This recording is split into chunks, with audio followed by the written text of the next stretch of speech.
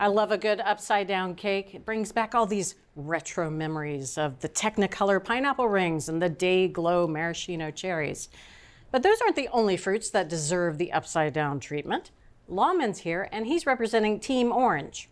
I am. I remember sitting in church for what seemed like hours, thinking about if the stained glass windows were made out of melted lollipops. Mm. The upside down cake has that same appeal to me. You went to church in a Hansel and Gretel book. Yes. So here I have three types of oranges. We have our navel orange, caracara orange, and a blood orange. Now each one of these oranges is going to bring a different color to the cake. Your navel orange is going to bring orange color. sure. The caracara has a reddish hue. It's mm-hmm. more like a pink grapefruit. Then the blood orange has a deep crimson color. Now, you don't have to use three different types of oranges, but the cake's not going to look as stunning. Okay. So to get started, I need two teaspoons of zest. I'm going to zest one of the oranges. It's a lot easier to do that when the orange is intact. You learned that once, right? Exactly. now, it doesn't matter really which orange you, you choose. Okay. Oh, you can smell the orange already. Now next, we're gonna peel the oranges.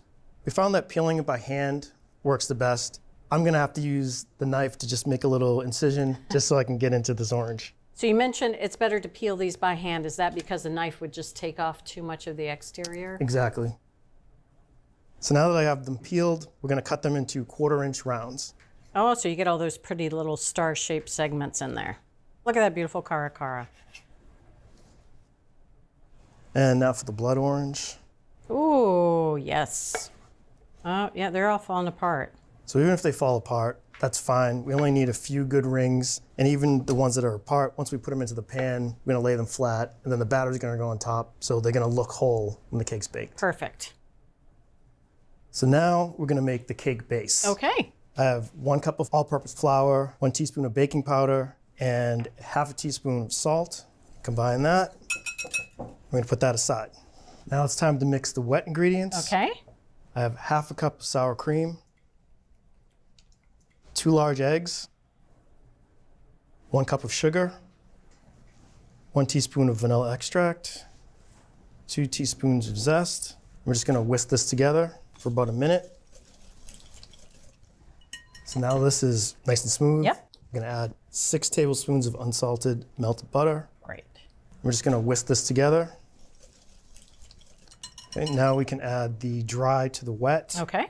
Just looking to combine this so that you don't see any more of the dry flour. Put that aside. For the top of this cake, we're gonna create a caramel. And a lot of times using brown sugar, Sure. but in this cake, we're gonna use half a cup of white sugar because that's gonna allow the flavor of the oranges to come through easier. Okay. So I have half a cup of sugar, I'm adding one teaspoon of cornstarch and an eighth of a teaspoon of salt. Just gonna combine that up. Mm. As I've been saying, this cake is a stunner. And it would be a shame if you put the cake in there and you can't get it out of the pan. Right. So here I have a nine inch cake pan. I've sprayed it with vegetable spray. There's parchment in there. It's been sprayed again. I'm not taking any chances. No. All right. I'm gonna add four tablespoons of unsalted butter, our caramel mixture. You wanna make sure when you're sprinkling the sugar, it's in an even layer. Gotcha. Although I don't think anyone will be mad if there's extra caramel anywhere on the cake. I wouldn't be mad, that's for sure. Now we're gonna add the oranges to the cake. You wanna make sure that the oranges are in a nice even layer. Okay. I'm just alternating the colors of the orange. There's no right or wrong way to do this. You just want it to look nice. Now you're gonna definitely have some oranges left over. These are what I would like to call a cook snack because the cake's gonna take about an hour to, to bake. This will tide you over until you're ready to eat the cake. So now that we have the oranges laid out, we're gonna add our batter. Now you wanna use a nice rubber spatula to smooth it out. You're smoothing out the top of the cake, which is actually what? The bottom. Otherwise, we'd be making right side up cakes. Nobody wants that. No. Now we're gonna bake it at 350 degrees for about 50 to 55 minutes until the cake is nice and golden brown. Okay.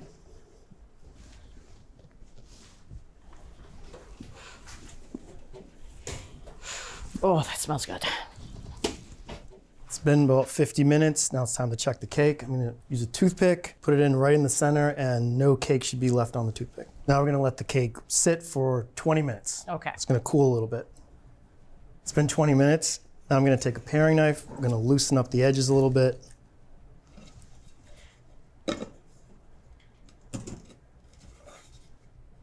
I heard something. Oh, let's hope it was the cake. Oh, beautiful. Look at that. Unfortunately, we have to wait one hour before we can eat it. It's been an hour. Yes, it has. We've made it through. One last step. I'm going to add some orange marmalade. I have two tablespoons. It's been heating in the microwave for about 20 seconds till it's nice and fluid. We're just going to brush it right on the top of the cake.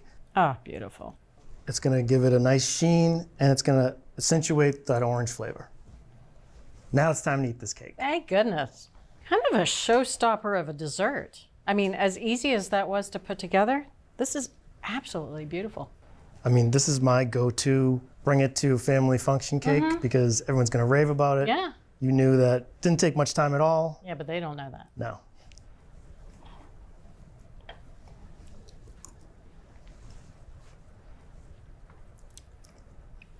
That's pure orange.